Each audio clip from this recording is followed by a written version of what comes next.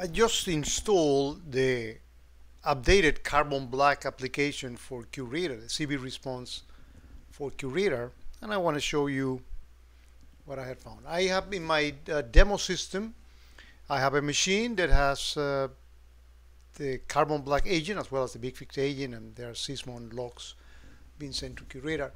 And this machine, the 203 machine, uh, click where they are not supposed to in an, a vulnerability was exploited here over Kali. So there were, uh, you know, uh, events being sent into QRadar from Sysmon, and also the Carbon Black agent cleverly detected uh, the actual exploitation. And um, this is the Carbon Black server, the 220 address, and the BigFix server is the 140. So let's actually see what happened in QRadar. We got three offenses. This PowerShell one came from Sysmon, this one came from Carbon Black, and this one came for the uh, IPS logs that allowed QVM to detect an exploited vulnerability. All that is actually pretty good.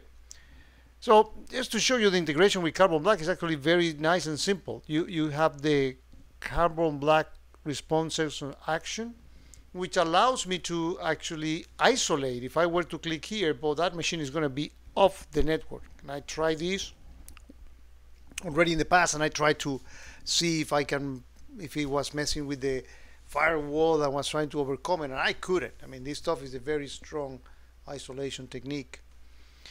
Uh, I can also right click on the particular address and click Carbon Black response. So I need to actually um, I got log out let me log in. And notice that I got uh, into the actual carbon black without having to I could go straight into the carbon black server and, and get a similar view but I don't have to. I can do all that nice navigation in here from without leaving the QRadar console. Again very nice integration not only because of the capabilities that Carbon Black have of detecting what's happening inside the box very, very, very well, but also because of the integration it has with QRadar.